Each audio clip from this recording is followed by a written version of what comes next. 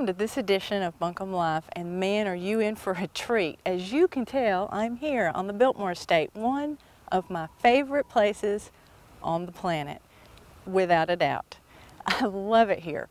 We, uh, if you've watched some more of our episodes, you've seen we've been doing some specials on solar energy.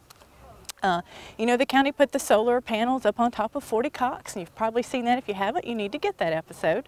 Uh, I thought it was very interesting. We, if you have been driving down the interstate, you've also noticed that the Biltmore Estate has put a few solar panels out on some of their acreage and they were uh, nice enough to come and give us a tour of those solar panels. It was an amazing tour. Um, and you're going to see it next because that's where we're headed. You're going to get the inside scoop on how many are out there, why they're out there, and some of the amazing things Biltmore Estate is doing to be green right here in Buncombe County so stay tuned. I am here on the Biltmore Estate with Chuck Pickering, who is, and I'm going to have to use my cheat notes here, the uh, head of agriculture and government relations for Biltmore Estate. Is that right? That's right. Well, we just appreciate you letting us come oh. here because I know you can see behind me. Wow. There is a lot of solar panels out here. Chuck, tell me, what are you doing? How many's out here and what are you doing? Well, this was all part of the original vision that Olmsted and Hunt had in, um, in, Vanderbilt had to make Biltmore a, a, sustainable estate.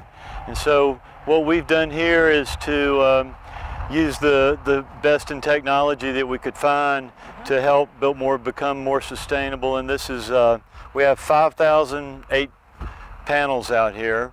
And uh, each of these racks that you see has uh, 28 panels on them. And I think we have about 169 racks out here.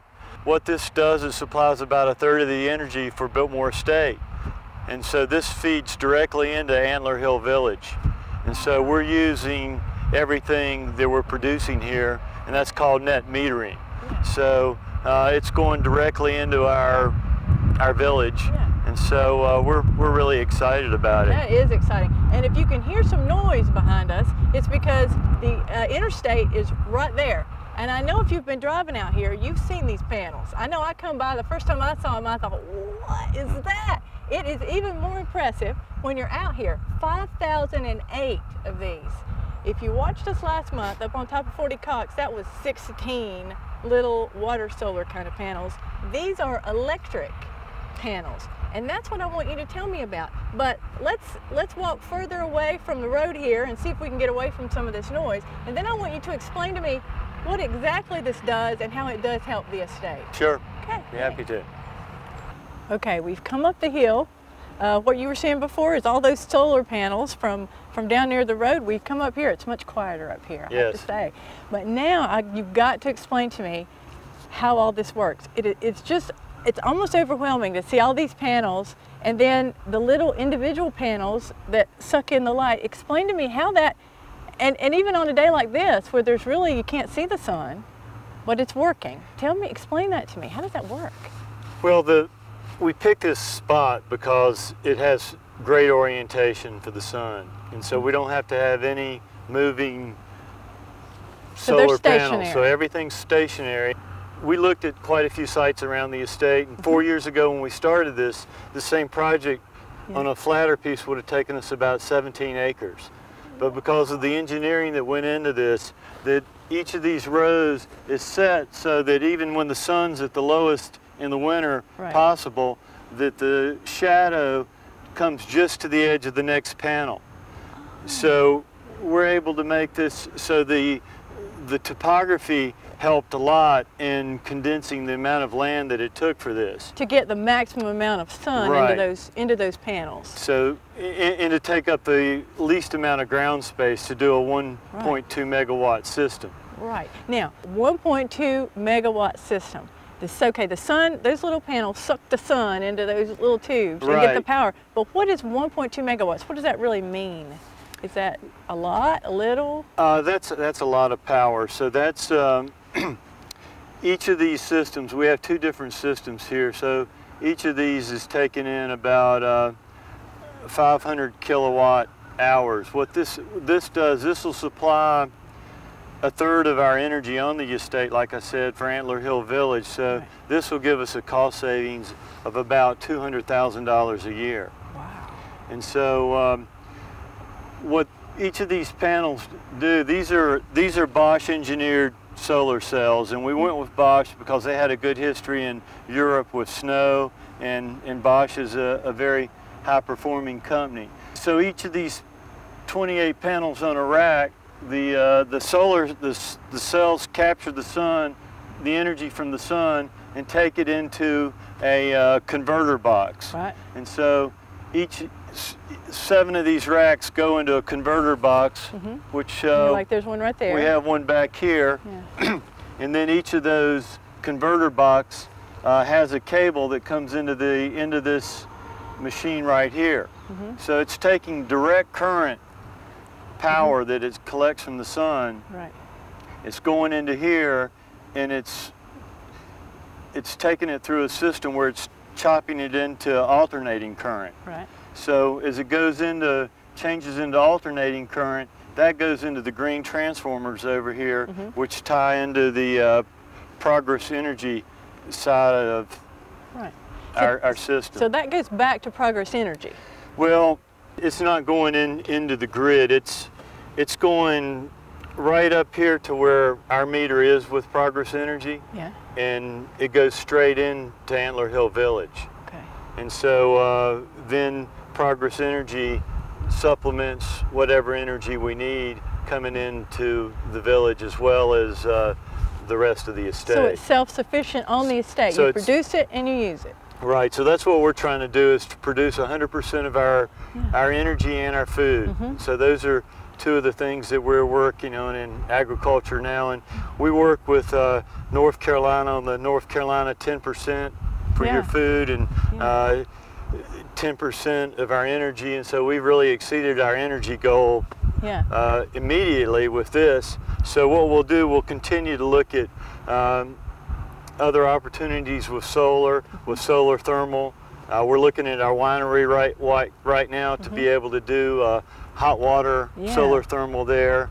So um, you know, there's there's some good opportunities. So just as the estate's always been on the cutting edge of technology, we're trying to continue to, that today with um, energy production and with food production. Yeah, and you say the state's always been, even even when the estate was built, it was on the cutting edge. So some of the things that Vanderbilt and Olmsted did, they did Yeah. uh, some of the first sustainable forestry in America where Mm-hmm. they could show that you could do forestry, preserve your forest for re- recreation and wildlife, as well as making it a productive forest. Yeah. Then um, Edith Vanderbilt, she got very involved with the North Carolina State Fair Mm-hmm. and uh, really implemented sustainable agricultural practices here with soil conservation. Mm-hmm. So we've done a lot with soil conservation. And Yeah. so um, in, in 2006, we really kicked off and we've certainly been in touch with the county and city Yeah. as far as our sustainable efforts. Oh, yeah. And um,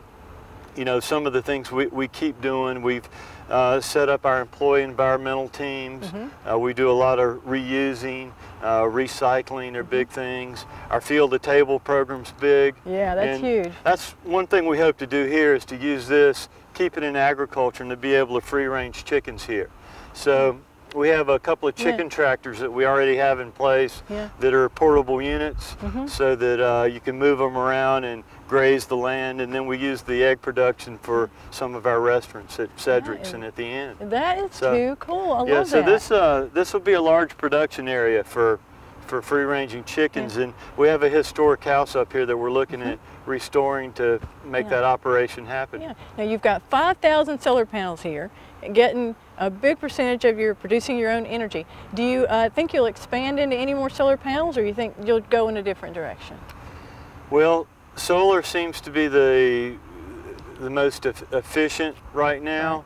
Um, we've identified a few other places uh, where it could possibly happen. One thing that we're always looking at are certainly views from the Biltmore House so that we preserve all those Right. views. So that's always in the consideration. This one really operational, functional, see how efficient it is. So mm-hmm. far they're telling us this is a, a highly efficient system and mm-hmm. our orientation here is picking up a lot more sun or a lot more energy than mm-hmm. even anticipated in the winter months. Well, it, as you as you guys will see on the on the video, it's picking it up today, and I'm not feeling it. I, I have to say, I, I do not feel the sun out here. No, and, and it's still pulling down that Yeah, that amazing it- light. It's pulling up the light, and I, I think today it's it's probably borderline right now. As I mentioned, we have one system that's on. Yeah. Uh, this one will have to get up a little higher before it, it kicks on. yeah. So, but we have some beautiful sunny days that makes that thing really run. I bet. and you know what we found out that this area of, of the country is one of the great collecting areas for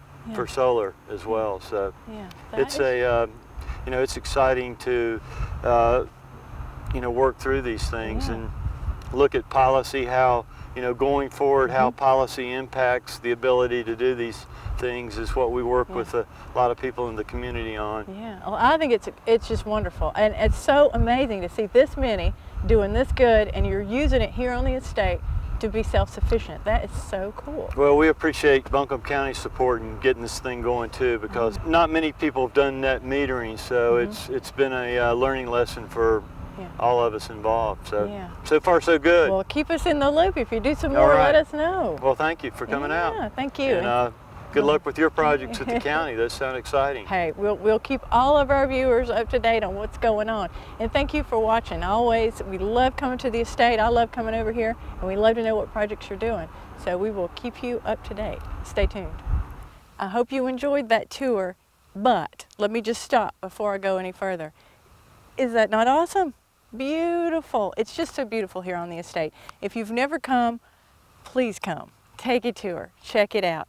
And then be proud of the fact that Vanderbilt and Biltmore have an amazing history here in Buncombe County, and we just gave you a tiny little peek into what they're doing today to be green, just like they were 100 years ago. It is awesome. The more you look into it, I think the more you'll be amazed.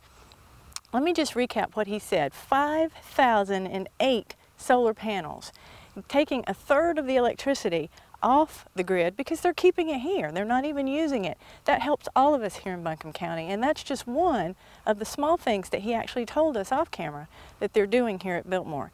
It's, it really is amazing how they are turning themselves into being self-sufficient with their food, uh, with their solar energy. It is awesome. It really is a wonderful attraction here. Another thing that you heard him mention in the video is how uh, over a hundred years ago, when they opened the house, that they created their own electricity. And he said, I'll get you more informa- information about that. Well, he did.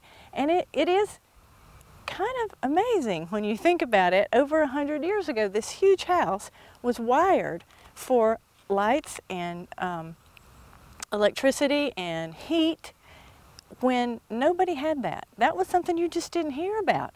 And they were already wired for it and then began producing their own electricity so they could actually have it here uh, self-sufficient on the estate just like what he was talking to us about about the solar power. So it really is just amazing. And I urge you to come out if you've never been to Biltmore, please come out and enjoy it one day. Summer is a great time to check it out. Although you can see even here today with the leaves off the trees, it's beautiful. Hope you enjoyed this episode.